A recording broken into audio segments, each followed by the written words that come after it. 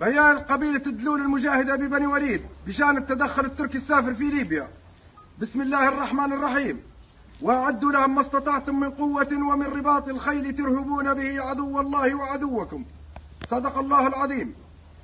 في الوقت الذي نتابع فيه مجريات الأحداث وتطوراتها على الساحة المحلية والدولية وما لاحظناه من استخدام لأساليب مشبوهة من أطراف لها مآرب وأهداف تخدم مصالحها الحزبية الخاصة.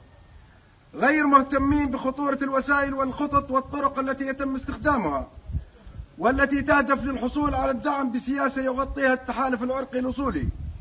متنازلين بذلك عن مقدرات ليبيا ومفرطين في سيادتها في إعادة لمشهد تاريخي نفذه أجدادهم قبل قرون من الزمن طمعا في النفوذ والاحتلال وبسط السيطرة على وطننا العربي الغالي.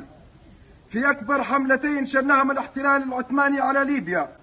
والذي تصدى له أجدادنا مئات السنين رافضين الانصياع والذل ودفع الإتاوات والذي يسعى اليوم بعض المنبطحين لممارستها بطرق مختلفة مستغلين سيطرتهم على مصادر الدولة ووضع أيديهم عليها.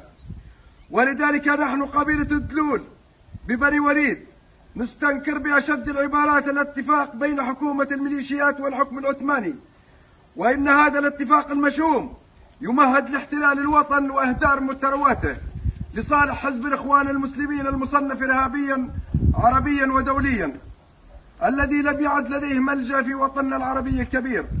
عليه ندعو أبناء الوطن إلى رص الصفوف ومواجهة هذه المؤامرة القذرة على بلادنا ونؤكد فيه أن مصلحة الوطن فوق كل اعتبار.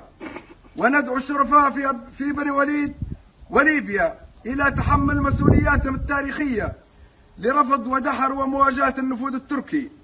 ونؤكد على مواصلة تأييدنا وموقفنا الثابت الداعم لعمليات الجيش الليبي لطرد الميليشيات الجاثمة على مدينة طرابلس وذلك منذ إعلان عن إطلاق عملية طوفان الكرامة. وانحيازنا إلى جانب قواتنا المسلحة لتحرير كامل التراب الليبي وميليشيات المال العام منذ أبريل 2019 إن تنصروا الله ينصركم ويثبت أقدامكم.